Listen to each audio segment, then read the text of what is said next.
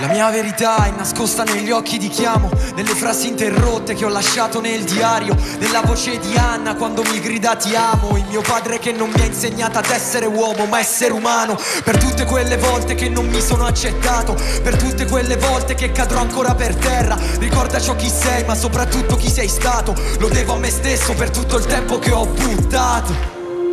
Ho avuto troppo tempo,